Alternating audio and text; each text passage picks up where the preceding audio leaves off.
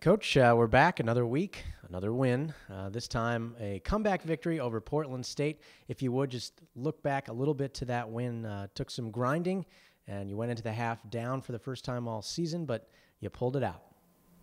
Yes, our game against Portland State um, last weekend was was a tough one for us. Um, you know, we had a, a tough game prior to that against the Pilots, and then was a little bit concerned about how our players would come out. Um, against Portland State um, on, on, the road again.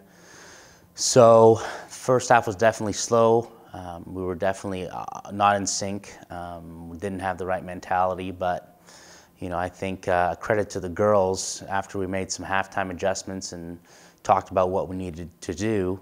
Um, the players that you know were on the field showed a lot of character and and uh, executed our plays the way we wanted to, and uh, we got the result. Uh, you had a two goals within two minutes stretch uh, in the second half, something like that. What kind of confidence does that give, you know, your team knowing that whether they're down, whether they're up, whether they're tied, no matter the situation, they can come back and they can win.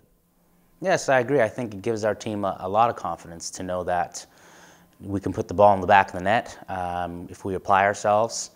And you know, to score two goals back to back that quickly obviously gives you a big boost on the day um, to take the momentum of the game.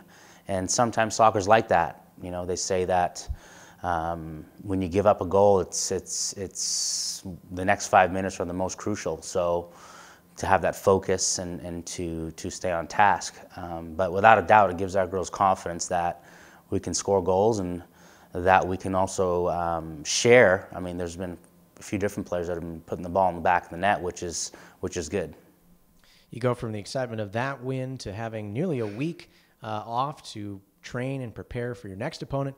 First opponent outside the state of Oregon this year. Um, you go to California and you play Cal State Fullerton. Um, a little bit about them and what you're going to face when you head down south.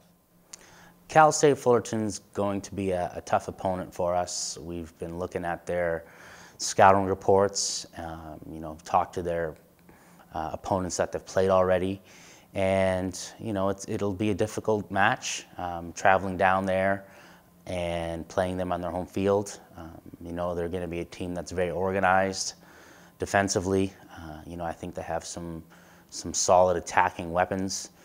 So you know we're going to have to take care of that, and then same time we we have to go down and play our game when it comes to the offensive side of things and generate our chances and and put them away. Um, you know I think that particularly now. Uh, you know, when we talk to our team, they understand that there are no easy games um, for Oregon State, uh, and that's just how it is.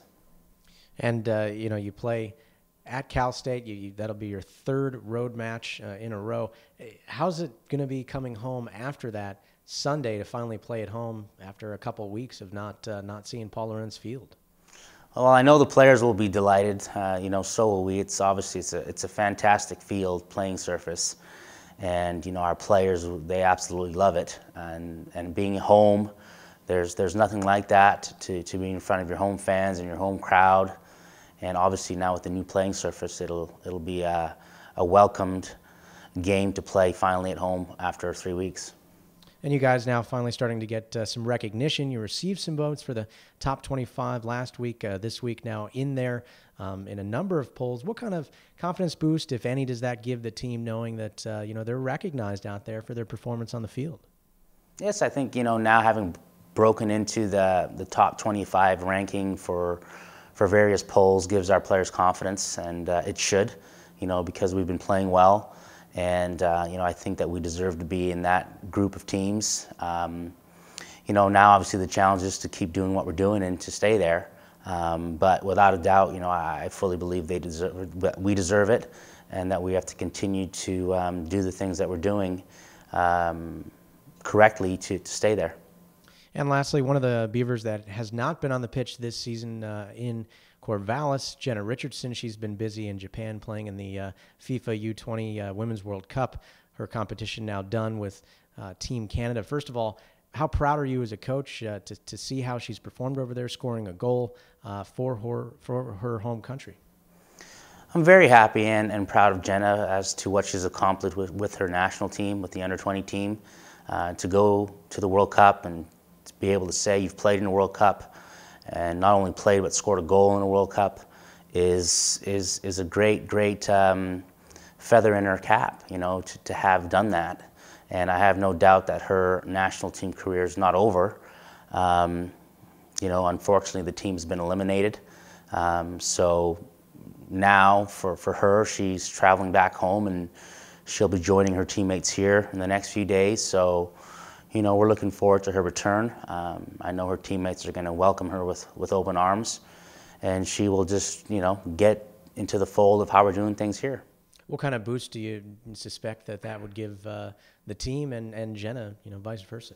Well, I think Jenna's a, a, a great personality on our team. Uh, you know, our teammates really like her. They enjoy her personality and obviously she's she's a scoring threat. So that just adds another, you know, if you want to call it an opportunity or a different tactic that we can use up top to um, cause you know our opponents some some problems. Um, because she's obviously proven proven herself as a goal scorer, um, and you know she'll have to get here and get into the groove with our tactics because it's no doubt different than what they were doing with her with the under 20 team.